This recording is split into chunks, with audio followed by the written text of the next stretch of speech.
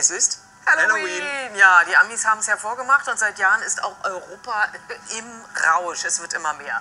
Im Babylon-Kino in Berlin-Mitte können Sie Halloween aber auch ausgesprochen stilvoll feiern. Dort spielt heute das Metropolis Orchester Berlin live die Originalmusik zum Gruselschocker Nosferatu. Ja, unser Mann fürs Grauen ist Andreas Jakob. Er ist für uns dabei. Hallo.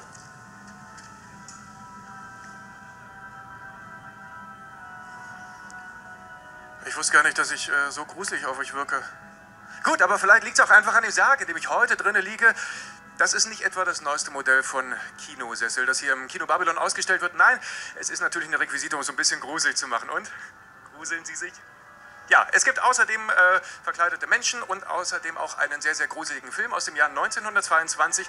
Ein Film, der Ihnen mit Sicherheit nichts sagen wird, denn es ist ein Stummfilm. Nosferatu. Und weil der so stumm ist, gibt es Live-Musik, eingespielt vom einzigen Kinoorchester Deutschlands. Vor zwei Jahren gründet Dirigent Burkhard Götze das Metropolis Orchester Berlin. Zusammen mit 15 filmaffinen Musikern hatte er sich zur Aufgabe gemacht, die Stummfilmära mit neuem Leben zu füllen. Für Murnaus Film Der Gang in die Nacht wurde eigens eine neue Musik komponiert und aufgenommen. Die Uraufführung findet dann am 1. Dezember im Zeughauskino statt.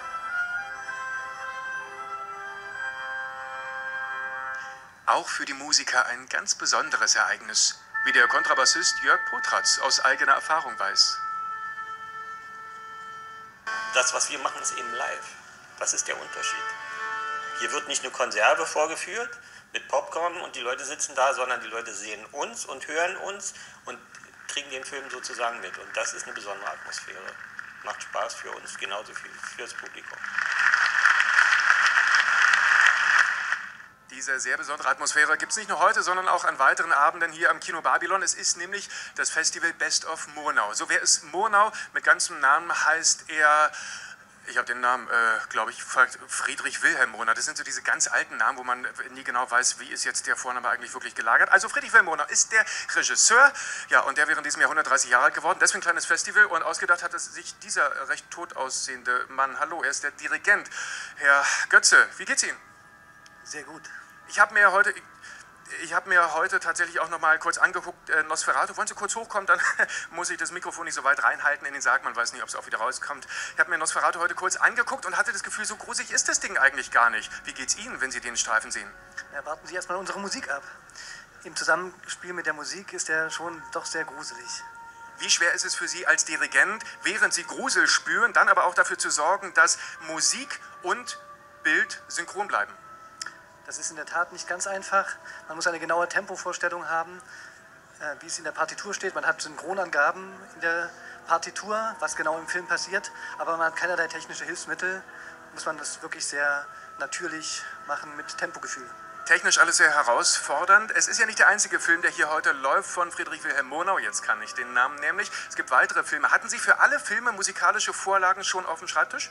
Noch nicht. Für Der letzte Mann, den wir am 5.11. am Montag spielen, äh, ist die Musik ganz neu für uns komponiert worden, in den letzten drei Monaten erst, von Richard Siethoff, einem jungen Stummfilmmusiker. Es ist eine ganz großartige Musik geworden und es lohnt sich unbedingt dorthin zu gehen. Ja, da freuen wir uns drauf. Dankeschön. Vielen Dank. Das Festival Best of Murnau zeigt neben Nosferatu weitere Filme von der Regielegende, zum Beispiel Der Gang in die Nacht das Liebesdrama aus dem Jahr 1921 gehört eher zu den unbekannten Werken des deutschen Regisseurs.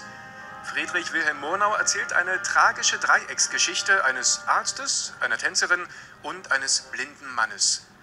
Heute Abend und auch am 2. November Nosferatu, Murnaus Horrorklassiker über eine Reise nach Transsilvanien und der Begegnung mit dem blutsaugenden Vampir.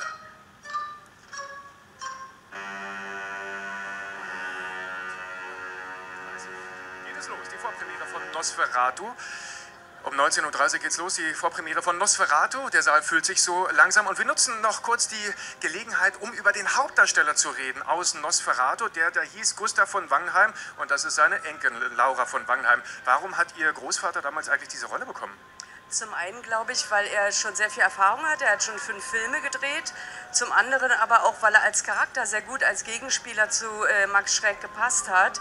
Der gruselige, das Grauen verkörpernde Vampir und im Gegenzug der eher weiche, sanfte, eher fast feminin wirkende äh, Gegenpart. Haben die sich also ganz gut ergänzt. Sie haben mir vorhin erzählt, dass Sie zu Hause auch ab und zu noch Stummfilme gucken. Das ist ja jetzt nicht so ein Filmerlebnis, was so nebenbei mal wegzugucken ist wie bei so einem Tonfilm. Warum machen Sie das? Ich mache das, weil äh, die Emotionen viel stärker sind bei einem Stummfilm. Also das Zusammenspiel von Mimik, Gestik und Musik, das ist etwas, was einen doch immer noch sehr stark berührt und zeitlos ist möglicherweise ein Feuerwerk der Emotionen heute Abend. Dankeschön, viel Spaß bei dem Film. Wenn Sie Lust haben, sich ein Werk von Friedrich Wilhelm Monau anzugucken, am Montag äh, gibt es den nächsten Film, Der letzte Mann, dann auch mit ganz neu komponierter Musik, da gibt es noch Restkarten. Und falls Sie generell sagen, ich weiß gar nicht so richtig, ob das was für mich ist, so ein Film, wo die Hauptdarsteller den Mund nicht aufmachen. Ich empfehle Ihnen zum Ausprobieren ähm, RBB-Fernsehen zu gucken, 17.55 Uhr jeden Tag. Da läuft das Sandmännchen und das ist seit Jahren sehr erfolgreich, damit die Klappe einfach zu halten. Mache ich jetzt auch. Tschüss. Danke, Andreas. Ja, das ist ein guter Tipp gewesen. Wann hast du abgenommen?